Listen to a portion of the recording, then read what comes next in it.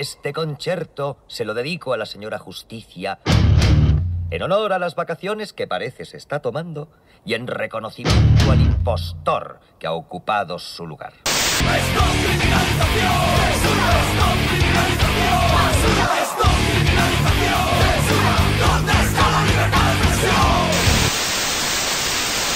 Hola, estoy en Caracas hoy día 5 de febrero, en país de la crisis humanitaria, aquí en el centro comercial El Recreo. Podemos ver absoluta normalidad, comercios, gente paseando, gente comprando, incluso comida, puestos de comida, hay un McDonald's, hay un Berska a la entrada, eh, una tienda aquí de galletas, tienda de las cookies huele a chocolate muy rico, en fin, hay que venir para verlo antes de hablar y repetir como loros lo que nos dicen los medios de comunicación. Yo creo que estos videitos que fueron totalmente espontáneos, por mucho que se ha dicho por ahí que bueno, casi que Nicolás Maduro me pagó ¿no? para hacer los vídeos, todo lo contrario, han molestado tanto precisamente porque han dado una tecla que si hubiéramos pretendido los defensores de la revolución bolivariana buscar eh, esa tecla, quizás no lo hubiéramos logrado. El mundo de las redes sociales realmente es, es incontrolable y, y, a veces no se entiende por qué hay cosas que pegan o no, pero yo creo que ha molestado porque eh, ha desmontado no, solo los vídeos, ¿no? pero llegaron en un momento donde había mucha atención y mucha tensión en la situación en Venezuela y llegaron para desmontar toda la matriz mediática que se estaba produciendo en ese momento, al menos en el Estado español, muy, muy fuerte, cotidiana, diaria, sobre la situación desastrosa en Venezuela, sobre la crisis humanitaria que prácticamente eh, los venezolanos no podían ni caminar por la calle porque estaban desfallecidos y mostraban un país normal y corriente, claro, con sus problemas. Hay quien no quiere escuchar lo que se dice en los vídeos y solo se queda con el cliché o la broma ¿no? del McDonald's y tal. Bueno, yo creo que ahí hay unos eh, discursos un poquito más profundos que solamente un análisis basado en que hay un McDonald's. O sea, le da duro al argumentario de la derecha y como creo yo, aunque quizás no soy la mejor persona para evaluarlos porque soy parte de, o sea, soy quien lo ha hecho, pero eh, como lo hace con un sentido del humor sarcástico, que es hiriente, porque se está burlando de, lo absurdo de sus argumentos, porque realmente son tan estrambóticos que, no se sostienen, bueno, se sostienen por, porque están respaldados en toda la manipulación mediática, pero cuando los contrastas con la realidad se demuestra lo absurdo y como se ven desnudados en esas mentiras, que además son ultra exageradas, hiperbólicas, se enojaron tanto que ellos mismos lo volvieron viral. Y ellos han contribuido, ellos me refiero a la oposición venezolana, a toda la gente que en redes sociales adversa a la revolución de manera muy, muy agresiva, ellos se encargaron de hacerlos virales y de incluso de, darles más importancia y de ayudar a, a desmontar sus propias mentiras. Pues estoy aquí en el Farmatodo, que tiene unos precios abusivos, obviamente, pero bueno, aquí hay gente comprando productos de farmacia, comida, pan bimbo, para aburrir, agua y claro que hay carestía de medicinas y hay grandes carencias y faltan insumos, nadie lo niega, pero esta realidad no la enseñan en los medios. Aquí no parece que haya mucha crisis humanitaria, bueno, doritos y todo. La dictadura le da bastante a los productos del imperialismo. En fin. El hecho de, de atacar a alguien porque plantee una opinión o una visión diferente de una realidad que en los medios se presenta de manera hegemónica, prácticamente sin cuestionamiento, tiene que ver efectivamente con una censura muy sutil a veces, o sea, no explicitada como censura, porque incluso se, a veces se parapeta en una supuesta defensa de, la libertad de expresión y la pluralidad. O sea, a mí me han llegado a, a denunciar por actos académicos o más bien por actos que hemos hecho en el contexto académico por considerar que no se daba voz a, la oposición, ¿no? cuando la oposición venezolana puede tener el mismo derecho a hacer los actos que considere. Entonces, bajo ese argumento de la libertad de expresión y la pluralidad, tratan de acallar la voz que va en contra de eh, lo hegemónico, porque ellos tienen todos los medios para reproducir esa visión. Entonces, para mí es evidente que es, es un intento de censurar y, e impedir de manera muy, muy vehemente cualquier voz, por mínima que sea, que pueda romper su monopolio de la supuesta verdad de lo que está sucediendo en Venezuela. Pero si hay conflictos hay que ganar el relato y que no lo escriban tertulianos de medios privados. Cuya ideología es la del amo y el poner la mano, la mía, la interioricé en mi hogar, viendo a papá marchar los lunes lejos para trabajar, viendo a mamá limpiar la casa del burgués perro, otro patriota más que siempre pagaba en negro. Bueno, los medios de comunicación en el Estado español son especialistas, además los que están vinculados con ciertos sectores que que se llaman las cloacas del Estado en publicar intencionalmente mentiras, intoxicaciones, manipulaciones para denigrar a esas voces críticas por ejemplo, acusándonos de que somos tarifados, de que el gobierno de Nicolás Maduro nos paga. Bueno, yo he tenido que leer de todo, ¿no? Desde que me pagan 11.000 euros al mes vía Islas Granadinas por Twitter, pero en medios supuestamente serios como periodista digital, que bueno, no es serio para mí, bajo mi punto de vista, porque solo leyendo lo que publican sobre mí, sabiendo que es mentira, pues pierde toda credibilidad. Lo último que tuve que leer eh, en estos días es que em, a mí me pueden, igual que a Zapatero, Willy Toledo, que es otra bestia negra para la derecha de este país por sus posicionamientos antiimperialistas, a Zapatero, Willy Toledo, Monedero y otras personas significadas que estamos significados con la defensa de la revolución bolivariana, mm, Zapatero no tanto de defensa, pero bueno, que tiene una postura un poco digna con Venezuela, pues cómo nos podían afectar las sanciones de Estados Unidos pues al presuponer que nosotros casi que somos asalariados o, tenemos, no sé, estamos encuadrados en el funcionariado venezolano. ¿no? Entonces, bueno, este tipo de, publicaciones mmm, pudieran parecer pues, de risa y tal, pero hacen mucho daño porque hay mucha gente que, que cree estas cosas y no es tanto ya el daño que hace a determinadas personas como nosotros, sino a los procesos políticos, porque se trata de desacreditarlos a ellos utilizando pues, a personas concretas. Por tercera vez, el Consejo Científico del Real Instituto Elcano, presidido por el rey Felipe VI, realiza su reunión anual en el Palacio Real de la Granja. El Real Instituto Elcano es un think tank de estudios internacionales y estratégicos. El Consejo Científico es su órgano consultivo. Está compuesto por unas 60 destacadas personalidades españolas y extranjeras del ámbito académico, político, diplomático, empresarial y mediático. Tenemos una, emergencia muy potente, incluso en Europa, lo estamos viendo en este último eh, ciclo electoral, de nacionalismos, de neonacionalismos de derecha y de populismos de izquierda. Eh, otro tema, sin embargo, en el que todavía queda mucho camino por recorrer es el tema de la opinión pública. En el tema de la opinión pública de otros países, en relación con el tema catalán, pues en algunos países sí se comprende mejor y en otros peor, de modo que ahí sí que hay una tarea a realizar. Pero eso, como digo, es una tarea que no nos corresponde a nosotros. Eh, nosotros lo que podemos hacer es hacer análisis, investigaciones y, y darlos a conocer. Eh, el tema de los think tanks y las voces expertas es muy interesante porque es una de las herramientas que utiliza el sistema en esta guerra psicológica de, conformación de un ideario, un imaginario, un sentido común que vaya a las mentes y a los corazones de, las poblaciones para tratar de convencerlos de determinadas ideas, en este caso de la bondad, del capitalismo, de que solo hay una democracia posible, etc. Y ahí estos think tanks, que van de la mano también de la academia, tienen un papel fundamental porque son esas voces expertas que están legitimadas por el conocimiento, la investigación, el estudio, para eh, decir qué es lo bueno o qué es lo correcto. En el caso del Estado español tenemos eh, la Fundación CIDOP en Barcelona, el Real Instituto del Cano en Madrid, que son parte del entramado estatal realmente, porque además están financiadas estas dos instituciones por empresas del IBEX 35 y sus consejos directivos pues están conformados por por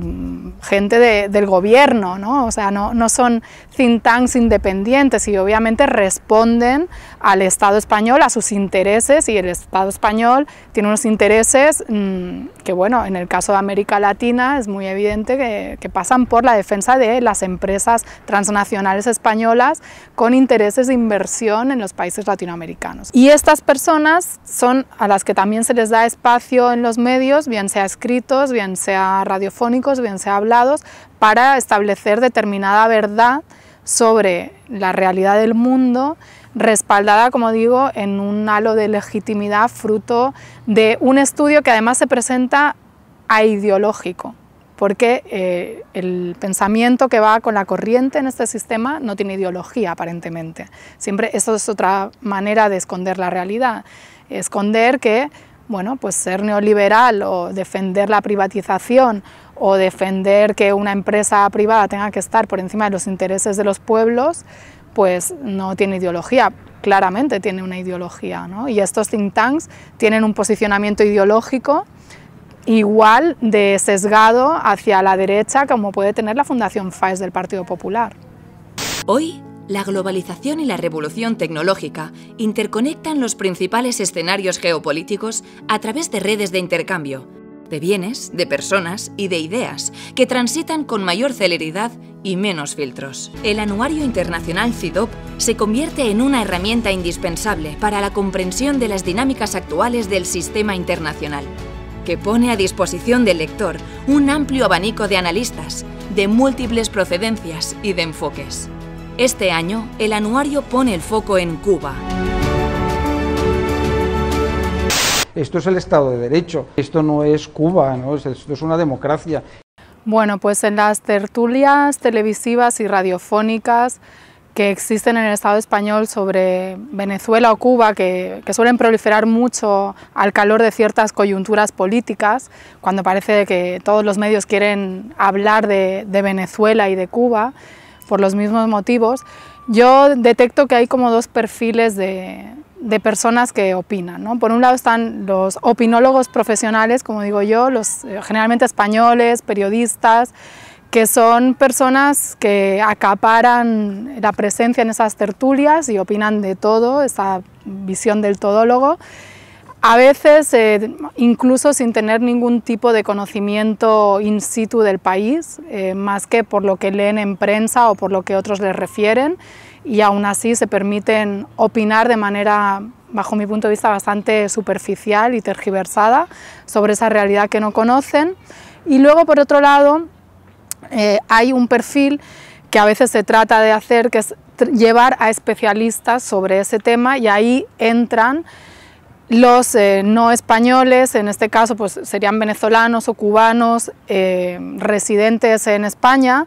generalmente casi en el 100% de oposición contra revolucionarios,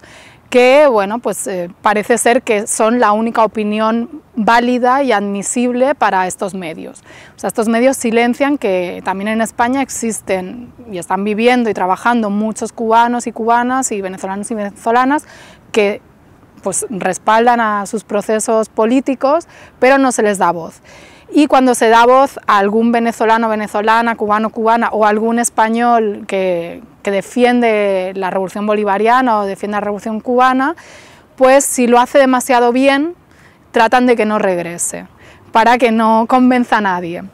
Que entre contradicciones y ruina también tenemos orgullo de clase y empatía. Y algún día tomaremos lo que es nuestro, ni paz entre clases ni guerra entre pueblos. Todo esto de negar la existencia de la clase obrera, negar que la clase obrera tenga conciencia de sí, otra cosa es conciencia para sí, ¿no? como se dice en el marxismo clásico. No. Una cosa es que tú puedes ser muy consciente de que eres un trabajador, una trabajadora, que tienes que echar un montón de horas para ganar un sustento que casi no te alcanza para llegar a fin de mes y otra cosa es que tú estés dispuesto a hacer algo para transformar esa situación porque en los medios, el, también toda la parte cultural del cine, de la televisión, se encargan de bombardearte en un sentido muy claro que es no hay nada que hacer. Esto es lo que hay, ¿no? como esta frase de esto es lo que hay, no puedes hacer nada.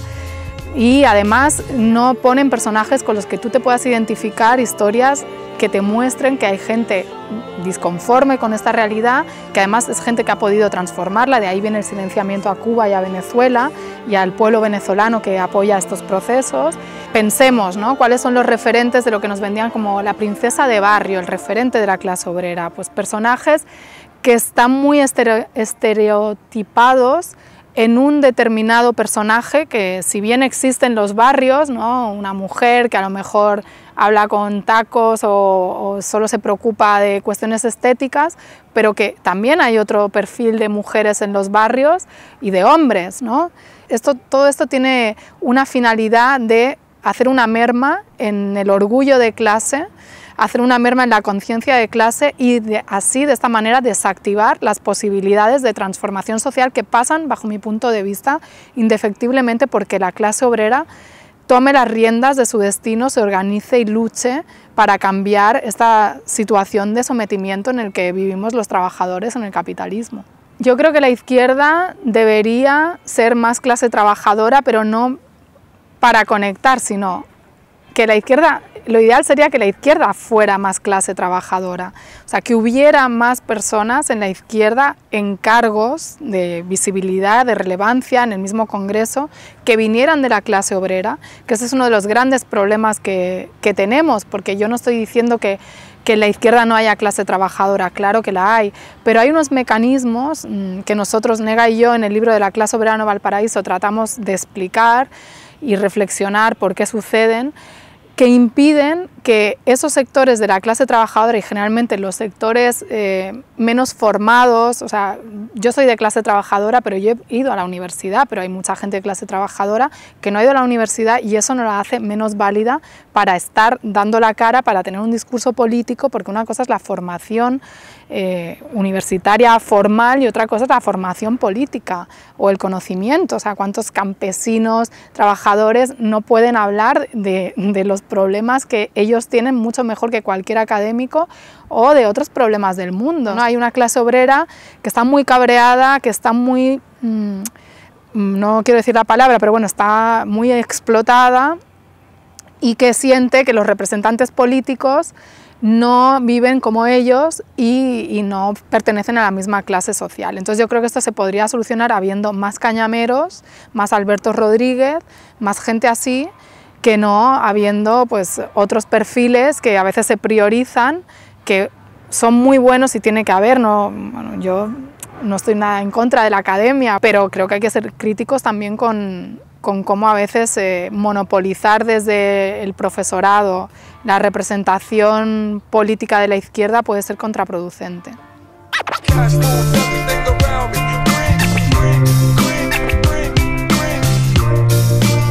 Evidentemente, después de todo lo que he dicho, la situación de la libertad de expresión e información en el Estado español la veo mal.